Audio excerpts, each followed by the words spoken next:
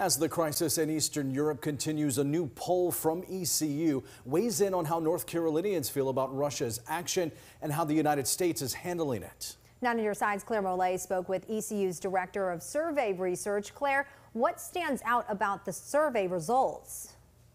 Ken Courtney, Dr. Peter Francia, professor of political science at ECU, says his takeaway from this data shows most approve of the economic action against Russia. But when it comes to increased military action, the opinion is more divided.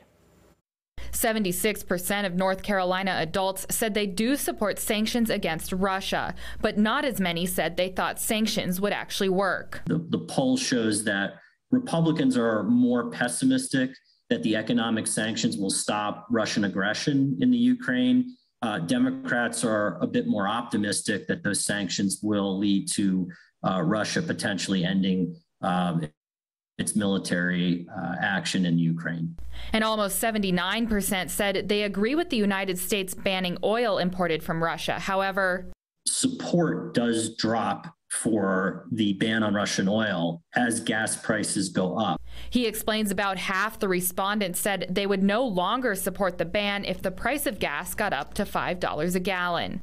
Assistant Professor of Security Studies at ECU, Hanna Kassab, says support of banning Russian oil is likely so popular at this time because it is beneficial for both Ukraine and the United States because the money goes directly to the uh, military uh, spending of the country.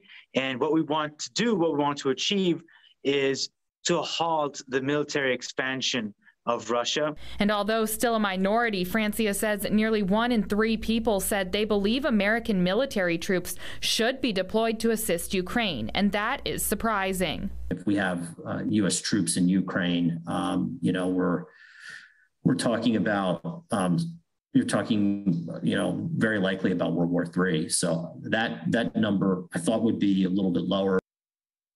The, day, the, data also showed that 39% of North Carolinians are very worried Russia may end up using nuclear weapons, which Francia says is a pretty high percentage considering what an extreme action that is. In studio, Claire Mollet, 9 on your side. Claire